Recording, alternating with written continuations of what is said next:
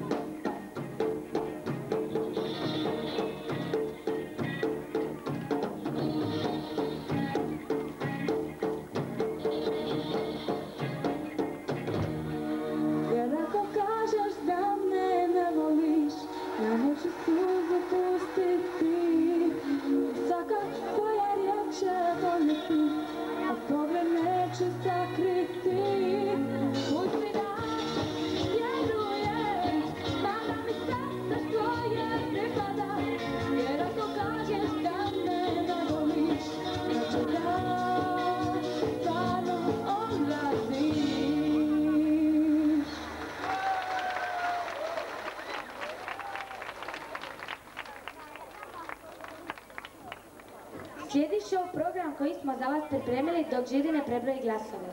Nadam se da ste sad zaokružili svog favorita večeras. Dok traje show program, skuplja- skupljati će se glasački listići na temelju koji će se nakon prebrojavanja glasova odlučiti o nagradi publike. A mi ćemo nastaviti s programom, naravno s pjesmom i plesom. Na redu su plesna grupa Atomic Love.